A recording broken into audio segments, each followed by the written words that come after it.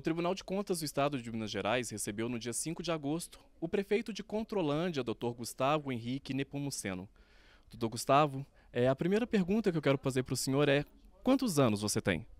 Eu tenho 16 anos. Opa, espera aí.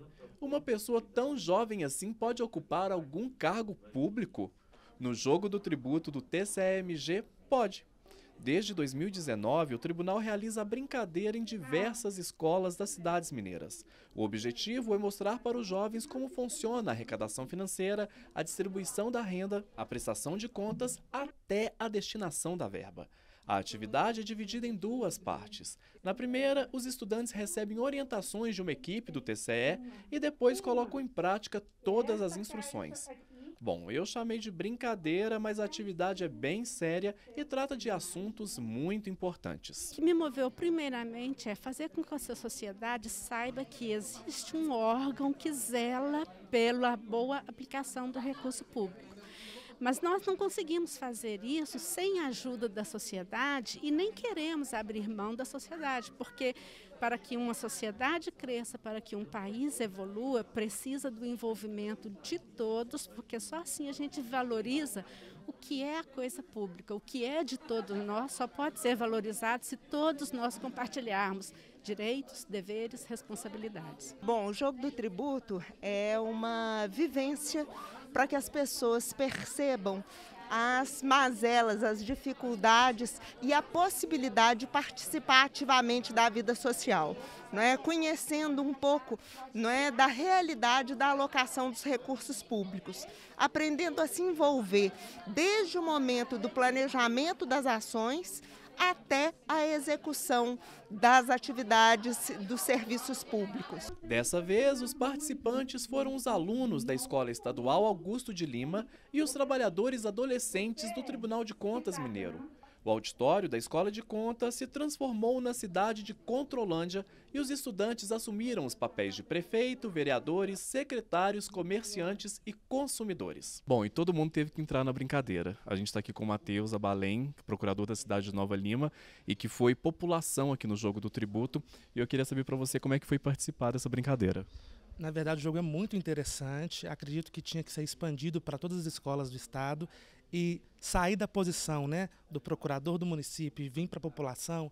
A gente tem que defender o projeto, tem que defender o que a população precisa, é muito diferente. Gente, um, um dos comércios aqui de Contolândia é a loja de roupas da Poliane, que é assessora da vice-presidência aqui do Tribunal de Contas.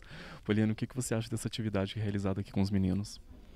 Bem, eu acho muito importante, porque é na escola que a gente começa a aprender a ser cidadão.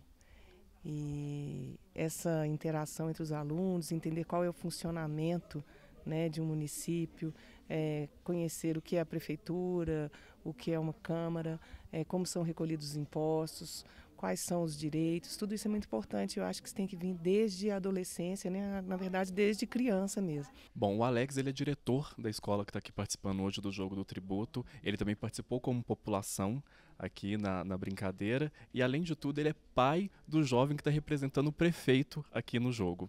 Bom, o que, que você está achando primeiro da aplicação do Jogo do Tributo? Estou achando ótimo, muito divertido.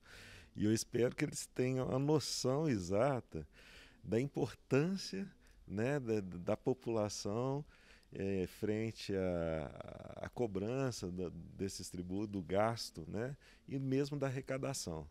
E o que, que você está achando da atuação do prefeito? Eu fui um que não votei nele.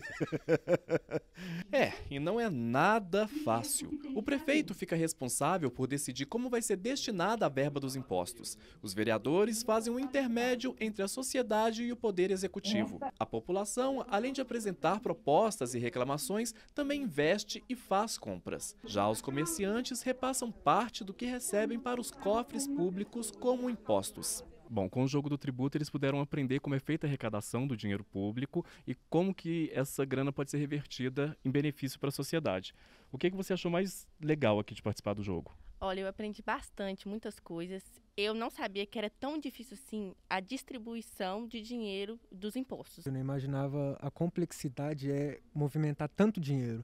Às vezes a gente acha que é só distribuir para certas funções, mas não. Eu achei um pouco difícil, mas não impossível. Foi um jogo muito interessante, pois assim nós conseguimos entender melhor o trabalho do prefeito, do vereador, entendemos também a necessidade e a importância de como nós temos de cidadãos, porque muitas das vezes nós pagamos os impostos, mas esquecemos de cobrar e o nosso direito também é de cobrar. É tão legal a gente poder entrar, ver o que está acontecendo com o nosso dinheiro, para onde está indo.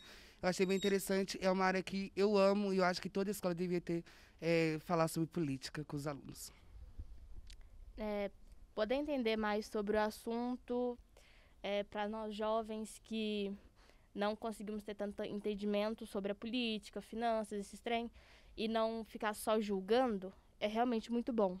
São englóbulos de coisas é, muito importantes para saber se aquilo pode sim ou não ser feito. Bom, e com vocês aqui hoje eu aprendi que tem uma geração aí, uma juventude nova vindo, cheio de opinião, de vontade, muita esperança. Obrigado, viu, gente? Opa, mas espera aí. E aquele probleminha ali entre diretor, aluno, prefeito, é, população, como é que ficou, hein? Teve, teve alguma retaliação por parte do diretor da escola que você estuda? Teve, não votou em mim.